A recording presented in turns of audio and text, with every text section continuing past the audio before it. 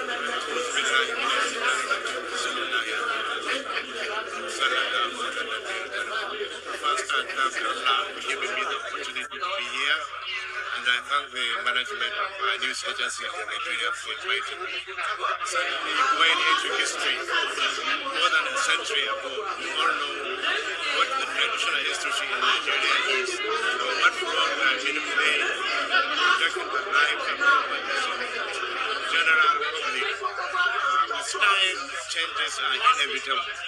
Uh, but we still feel we have a role to play in protecting our nation, our communities. So we are here to give our support to the, the federal government and to the news agency of Nigeria who invited us that we can chip in one or two words that we think can give, can make an impact in securing the Sahelian and Nigeria.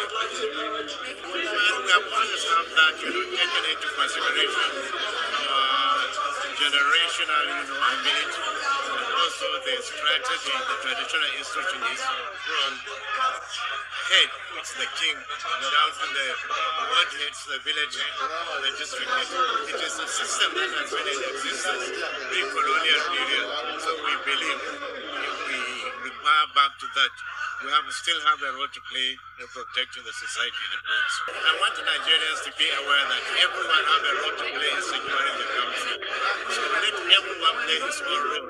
By the time each and every individual play their role, I'm sure it will be smooth and things will get better gradually.